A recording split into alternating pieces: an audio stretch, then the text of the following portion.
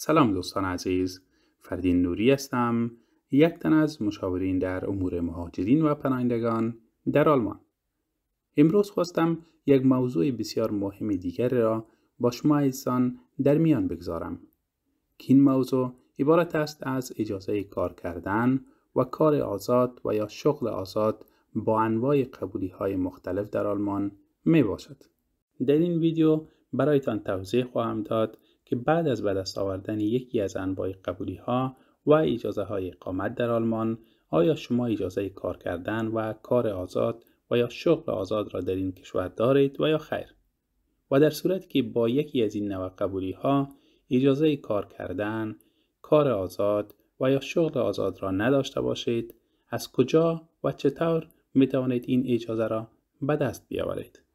بله دوستان گرامی بعد از اینکه شما یکی از انواع قبولی ها را از اداره مهاجرت و پناهندگی آلمان از طریق یک نامه خاصی که با آلمانی آن را انرکنونگز بشاید می‌گویند به دست می آورید که این قبولی ممکن یک قبولی سه ساله سیاسی که با آلمانی آن را ازول انرکنونگ و یا ازول به قشتیگونگ می‌گویند باشد یا قبولی سه ساله پناهندگی مطابق به کنوانسیون جنیوا که با آلمانی آن را فلوشلینگز ایگنشفت و یا فلوشلینگز انرکنونگ می‌گویند یا قبولی حفاظت فرعی که با آلمانی آن را سوبسیدیق شوتس می‌گویند و یا هم ممکن یک قبولی ممنوعیت اخراج که با آلمانی آن را بود و یا شوتس می‌گویند باشد. شما می توانید با این نامه قبولیتان که شامل یکی از این نوع قبولی ها می باشد به اداره ادبای خارجی یعنی اوسلند بیهورده مربوطه ایتان مراجعه کرده و مطابق به نویت قبولیتان درخواست کارت الکترونیکی اجازه اقامت را در آنجا داده و این کارت الکترونیکی اجازه اقامت را از این اداره به دست بیاورید.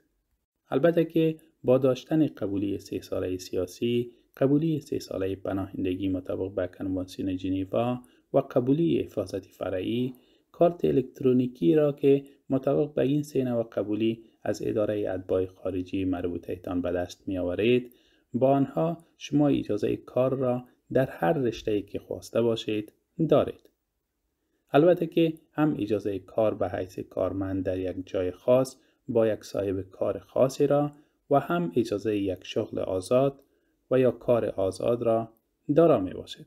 ولی با داشتن قبولی ممنوعیت اخراج و کارت اقامت مطابق به این نوع قبولی داشتن اجازه کار کردن و کار آزاد و یا شغل آزاد و عدم داشتن آنها و شرایط به دست آوردن اجازه کار کردن و کار آزاد و یا شغل آزاد به شکل دیگری می باشد.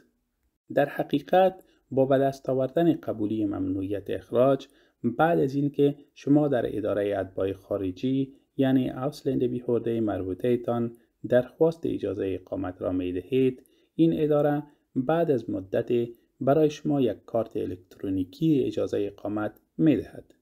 که در این کارت الکترونیکی ممکن در رابطه با اجازه کار شما نوشته باشد که Erwerb Tätigkeit gestattet و یا نوشته باشد که Beschäftigung gestattet و یا هم در مورد هیچ چیز نوشته نباشد. در صورتی که در کارت اقامتتان نوشته باشد که Erwerbstätigkeit gestattet در این حالت شما هم اجازه کار در یک جای خاص نزد یک صاحب کار را و هم اجازه کار آزاد و یا شغل آزاد را می داشته باشید. یعنی هم می توانید به طور مثال در یک دکان و یا رستوران به حیث یک کارمند کار کنید و هم می توانید خود یک دکان و یا رستوران باز کنید. البته که برای انجام دادن کار آزاد و یا شغل آزاد بعضی مراحل رسمی دیگری در ادارات دیگر آلمان باید طی گردند که طی نمودن این مراحل بالای دارندگان انواع قبولی های دیگر در آلمان و بالای آلمانی ها نیز لازمی می باشد و چون این یک بحث جداگانه می باشد من این موضوع را برایتان در یک ویدیوی جداگانه تشریح خواهم کرد. در صورتی که در کارت اقامتتان نوشته باشد که به شفتیگون گشتاتت در این حالت شما تنها اجازه کار در یک جای خاص نزد یک صاحب کار را می داشته باشید و اجازه کار آزاد و یا شغل آزاد را نمی داشته باشید.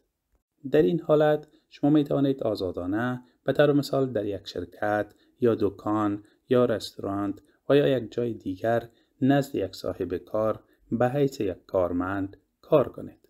ولی اگر شما بخواهید اجازه کار آزاد و یا شغل آزاد را به دست بیاورید می توانید در رابطه به اداره ادبای خارجی یعنی اوسلند بیهورده مربوطه خود مراجعه کنید و این اداره برای شما در مورد رهنمایی خواهد کرد که برای به دست آوردن اجازه کار آزاد و یا شغل آزاد شما باید کدام شرایط را تکمیل کنید و کدام مدارک را به این اداره تسلیم نمایید و یا هم بفرستید تا این اداره در مورد اجازه کار آزاد و یا شغل آزاد شما تصمیم گرفته بتواند.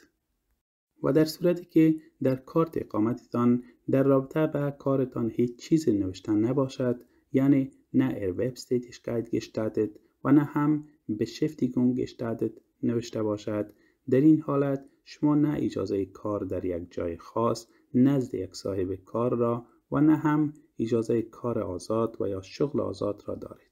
در صورتی که شما بخواهید که اجازه یکی از این کارها را به دست بیاورید شما می توانید در رابطه به اداره ادبای خارجی مربوطه ایتان مراجعه کرده و در آنجا درخواست اجازه کار را بدهید. برای به دست آوردن اجازه کار به حیث یک کارمند شما باید معمولا یک قرارداد کاری و یا موافقت نامه صاحب کارتان را داشته باشید که در آن ساعت کاریتان و مقدار حقوق و یا معاشتان یادآوری شده باشد و مطابق به یکی از اینها صاحب کارتان بخواهد شما را در شرکت، دکان و یا جای کار خود استخدام نماید. و بعضی اوقات اداره ادبای خارجی نیز یک فرم را برایتان می دهد تا صاحب کارتان آن را در مورد استخدامتان در جای کارش خانه پری کند. بعدا شما باید این قرارداد کاری یا موافقت نامه کاری صاحب کارتان را با فرم خانه پری شده و کارت اقامتتان یک جا به اداره ادبای خارجی مربوطه ایتان برده و از آنها تقاضا کنید تا برایتان اجازه کار یاد شده را بدهند. قابل یادآوری است که این قرارداد کاری و یا موافقت نامه را قبل از به دست آوردن اجازه کار از اداره ادبای خارجی مربوطه ایتان شما نباید امضا کنید. بعد از آن اداره ادبای خارجی مربوطه ایتان در مورد تصمیم می‌گیرد که برای شما اجازه کار را بدهد و یا خیر. در صورتی که شما اجازه کار را به دست بیاورید این اداره در کارت اقامتتان در مورد خواهد نوشت که Erwerbstätigkeit gestattet و یا هم Beschäftigung gestattet. بعد از آن شما می توانید قرارداد کاریتان را با صاحب کارتان امضا کرده و کارتان را آغاز کنید.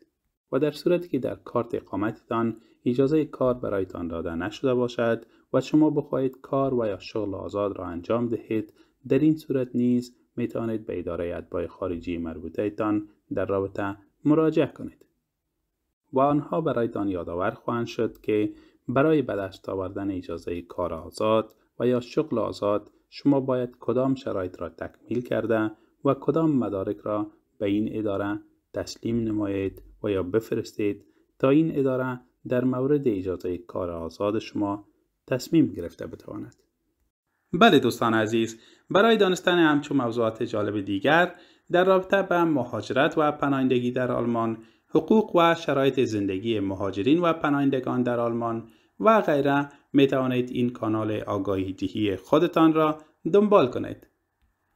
و سپاس از اینکه تا اکنون مرا همراهی کردید اگر سوالی و یا نظری در مورد موضوع امروزی داشته باشید می توانید در پایین همین ویدیو بنویسید و من سعی خواهم کرد تا به سوالات شما عزیزان به زودترین فرصت پاسخ ارائه کنم. وقت خوشی داشته باشید.